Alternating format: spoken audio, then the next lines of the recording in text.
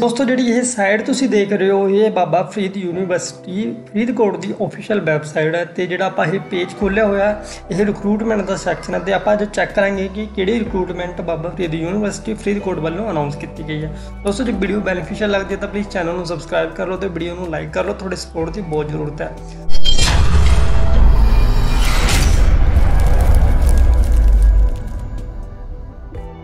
ਸਭ ਤੋਂ ਪਹਿਲਾਂ ਆਪਾਂ ਇੱਥੇ ਚੈੱਕ ਕਰ ਸਕਦੇ ਹਾਂ click here apply online various post under government of Punjab ਇਸ ਤੇ ਆਪਾਂ ਕਲਿੱਕ ਕਰ ਲਾਂਗੇ ਦੋਸਤੋ।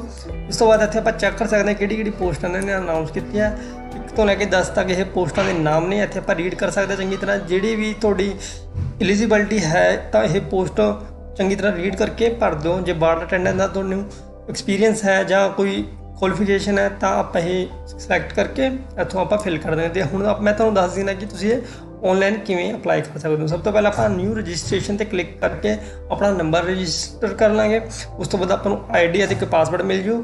ਤੇ ਆਈਡੀ ਅਤੇ ਪਾਸਵਰਡ ਮਿਲਣ ਤੋਂ ਬਾਅਦ ਆਪਾਂ ਕੈਂਡੀਡੇਟ ਲੌਗਇਨ ਤੇ ਕਲਿੱਕ ਕਰਕੇ ਆਪਣਾ ਫਾਰਮ ਸਬਮਿਟ ਕਰ ਦੇਣਾ ਕਿਉਂਕਿ ਦੋਸਤੋ ਜੇ ਤੁਸੀਂ ਚਾਹੁੰਦੇ ਹੋ ਕਿ ਮੈਂ ਅੱਗੇ ਦਾ ਪ੍ਰੋਸੈਸ ਤੁਹਾਨੂੰ ਸਮਝਾਵਾਂ ਮੋਬਾਈਲ ਤੇ ਕਿ ਕਿਵੇਂ ਅਸੀਂ ਅਪਲਾਈ ਕਰ ਸਕਦੇ ਹਾਂ ਇਹ ਪੋਸਟ ਦਾ ਵੀਡੀਓ ਵਿੱਚ ਕਮੈਂਟ ਕਰੋ। ਮੈਂ ਜਿਹੜਾ ਨੈਕਸਟ ਪਾਰਟ ਹੈ ਇਸ ਵੀਡੀਓ ਦਾ, ਉਹ ਨਿਊ ਜਿਹੜਾ ਆਪਾਂ ਰਜਿਸਟਰ ਕਿਵੇਂ ਕਰਨਾ ਹੈ ਤੇ ਇਹ ਫਾਰਮ ਅਪਲਾਈ ਕਿਵੇਂ ਕਰਨਾ ਹੈ, ਉਸ ਤਰ੍ਹਾਂ ਬਣਾ ਦੇਵਾਂਗੇ ਜਿੱਥੇ ਤੁਸੀਂ ਆਰਾਮ ਨਾਲ ਮੋਬਾਈਲ ਤੇ ਚੈੱਕ ਕਰਕੇ ਇਹ ਖੁਦ ਅਪਲਾਈ ਕਰ ਸਕਦੇ ਹੋ।